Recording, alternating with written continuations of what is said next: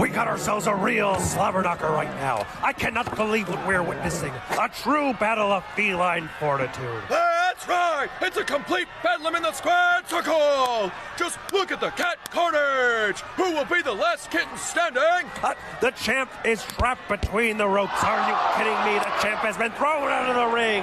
Ah, and a quick left paw hooked to the face. We have to watch an instant replay of that smack! Knocked him plumb into next week! All HE double hockey sticks is breaking out into the arena. All the two competitors have left the ring. Remember, this is a no disqualification match, so no countouts apply. Looks like business is about to pick up. It appears the challengers are putting a cat's cradle submission hold.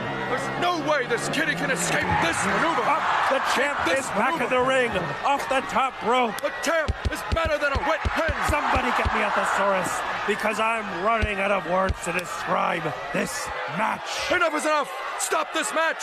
It's complete savagery.